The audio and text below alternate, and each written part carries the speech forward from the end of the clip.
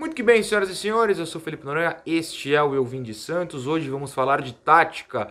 Tenho quatro imagens da vitória do Santos por 3 a 2 contra o América Mineiro na coletiva do último sábado. Inclusive, pausa no, no comentário para lembrar que, pelo amor de Deus, obrigado Santos por permitir a todos nós um feriado prolongado, alegre, né? Sem nos preocuparmos com uma derrota do Santos. Santos venceu, tá todo mundo feliz. Espero que o seu domingo esteja indo bem.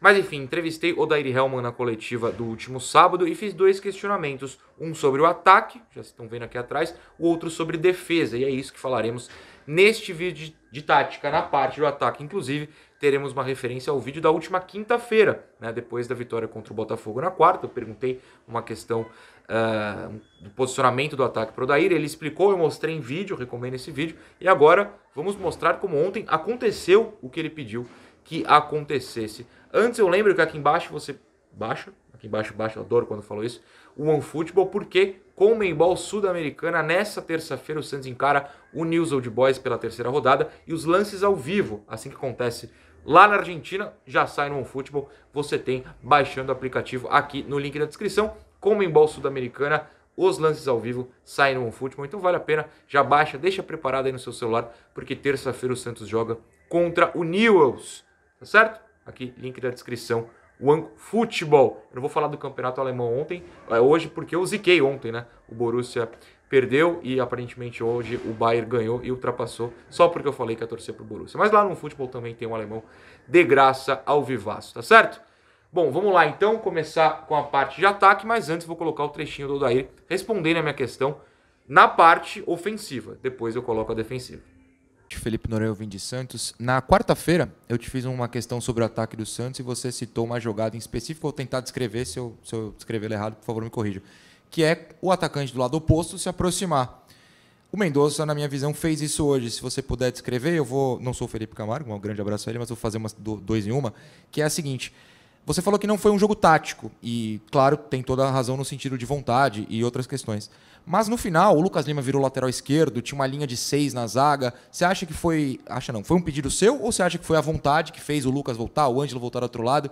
Foi, ou foi uma visão sua? Não, fe, com a expulsão do Mauro até, faz essa linha com mais jogadores é, para defender? Foi uma opção sua? Boa, boa observação. Fiquei comemorei não só muito o gol, né, porque era, era importante o empate e o gol, mas também pelo movimento, também pelo movimento. É, porque uh, eles, com essa característica, a gente está tentando tirar esse jogo posicional dos pontas, em só ser posicional e, e a gente fazer a bola chegar até eles para nós ter um para um. O que, que acontece muitas vezes? Eles dobram marcação, baixam, setorizam, colocam três do lado da bola e a gente perde a possibilidade de fazer. Quais são os movimentos que a gente. Até, até vou falar sobre o movimento, mas faz parte é, se eles marcarem esse movimento, a gente volta a fazer um para um. é, mas se você observar, se, não, se, eu não me engano, no lance, neste lance ou no, nos anteriores, o Lucas fazendo movimento por dentro, o so, Lucas Pires fazendo movimento por dentro. Quando eu digo quando a bola leva para o setor, por exemplo, do lado esquerdo, para a gente fazer a aproximação, como o Soteudo é um cara que pisa muito em cima da linha, a gente precisa fazer movimentos por dentro desses do lateral do Lucas nessa aproximação e os movimentos aquele que eu te falei. Trazer o cara do lado oposto para essa possibilidade de finalização, porque se a gente não termina a jogada e retorna, faz uma bola de retorno pelos volantes, os volantes estão de frente e nós com o meio preenchido e você fica com amplitude do lateral. E você cria a dificuldade de marcação para o adversário. Então a gente está, pela característica, eles gostam dessa ponta, eles gostam desse drible, eles gostam desse espaço, mas a gente está, mesmo sem treinamento, está tentando buscar lá o pouquinho que tem para a gente criar essas alternativas de, da, da melhor finalização, né? para que a gente busque essa capacidade e o gol foi exatamente isso. Muito bem, então vamos lá. Tudo que ele falou na quinta-feira, e que ele até sorriu aí quando eu perguntei, lembrando da questão de, quinta, de quarta-feira, aconteceu o nosso vídeo na quinta. O atacante do lado oposto, que no caso foi nosso Mendonça, faz um M, foi, né, ele que é o ponta direita, foi se aproximar do ponto esquerda. É uma situação ideal? Não, claro que a gente sente saudades de seis, sete jogadores de ataque na área, né? Aquele tradicional, aquela tradicional análise de 2019, mas isso não está acontecendo agora. E se não está acontecendo, há uma necessidade de mudar. O ponto, então, tem que dar esse volume onde está a bola. Claro que ele pode arriscar jogar nas costas do último homem, o Mendonça tem gols esse ano assim, mas dessa vez ele fez o que o Odair pediu né, na quarta-feira, que é se aproximar do ponto oposto. Então, olha como o Mendonça sai da direita e já aparece na esquerda, lado do Soteudo. No lance seguinte, né, no segundo seguinte, que vai sair o gol, o Soteudo finta, em vez de cruzar para o segundo pau, dá o passe próximo para o Mendonça completamente livre. Olha como o Soteudo finta, né, os três, a zaga recua, um movimento tradicional, é costumeiro de zagueiros, e o Mendonça fica parado exatamente onde ele tem que estar, na aproximação para um passe fácil, para um passe que não precisa ultrapassar defensores que podem cortar a bola, simplesmente o um passe simples, ele bate e o gol. É isso que o Odair pediu, é isso que o Mendonça é, fez. E o Soteldo passou a bola, glória a Deus. Você pode não gostar do Odair, você pode gostar do Odair, a gente não está fazendo julgamento de valor. O fato é, ele pediu essa jogada e a jogada aconteceu. Agora, a gente vai colocar uma parte defensiva, né? A parte que eu questiono sobre a linha de seis no final. Infelizmente, eu não consegui nos melhores momentos por aí. Eu estava na Vila ontem e não gravei o jogo. Imagens dessa linha. Mas depois do Odair falar, eu montei a questão tática, a prancheta tática, para a gente exemplificar. Na parte final do jogo, eu até fiz a substituição, porque eu levei os dois volantes com cartão amarelo praticamente o jogo todo. E no final eles colocaram o lateral esquerdo com altura, centroavante com altura. Quando eu fiz a substituição, o Lucas já, já tinha feito o posicionamento um pouquinho antes para fechar, mas eu fiz o Ed para dar tranquilidade de tentar parar a bola e a gente conseguir sair daquela, daquela pressão final que eles iam começar a botar bola, bola na área, né? Fizeram as substituições para isso. Coloquei o Alisson justamente para isso também, para dar essa imposição na bola aérea. E ali no final, 48 ou 49, é do jogador. É da equipe de não querer perder a partida, é de se posicionar um pouquinho mais para cá. A gente até puxou um pouquinho os contra-ataques. Daronco não deu uma falta no Ângelo, mas está tudo bem. É, mas eu acho que dali é, aí é aquela situação dentro do campo do jogador. Claro que às vezes de fora você puxa um jogador um pouquinho mais para cá, mas é o jogador também defendendo a sua vitória, defendendo aquele momento final para que a gente conseguisse os três pontos. Então vamos lá, olha só. A linha de seis, eu falei no pós-jogo ontem, o Odair confirmou, mesmo que não tenha sido um pedido dele, ele fala né, sobre como os jogadores sentiram a necessidade de defender mais para segurar o resultado ficou assim no primeiro momento, ainda com o Bauerman, né?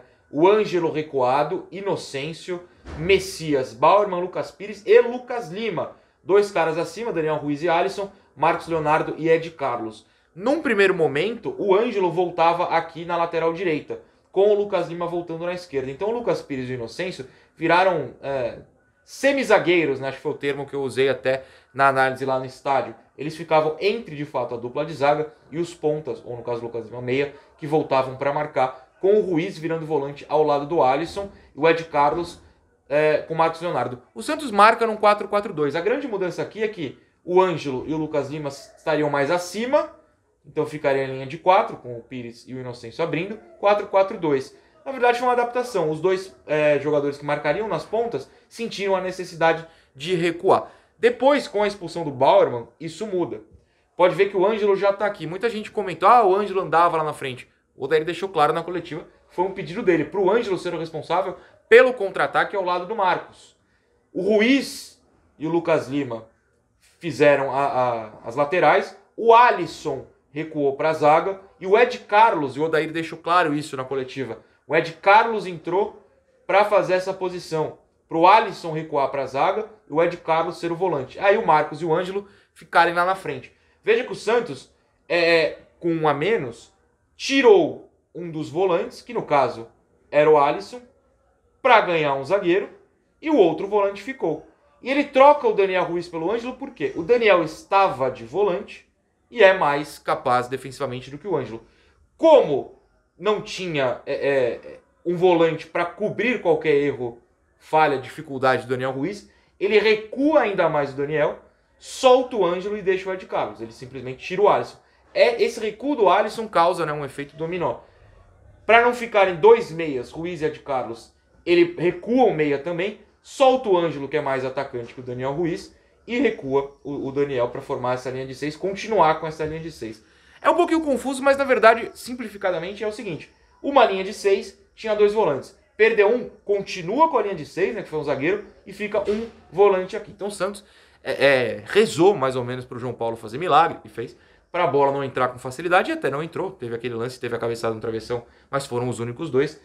Mas apostou em recuar essa linha de seis. Às vezes o Lucas Lima subia também. No lance da, da cabeçada na trave, o Lucas Lima tá até avançado. Então, às vezes, ele fazia um segundo volante com o Ante Carlos. Mas pode perceber pelos nomes que foi uma situação de puro desespero, né? Não tinha tanto jogador defensivo assim. Um, dois, três improvisos, né? Porque o Alisson não é zagueiro, o Lucas e o Daniel não são laterais, e o Santos se virou para segurar o resultado. É, uma, é mais uma amostra, né? Não, de novo, não é juízo de valor, eu estou mostrando o que o Santos fez, e foi isso que o Santos fez ontem. Deu certo. O que importa é que o Santos venceu, tá certo? Vai curtir o feriado. Tchau.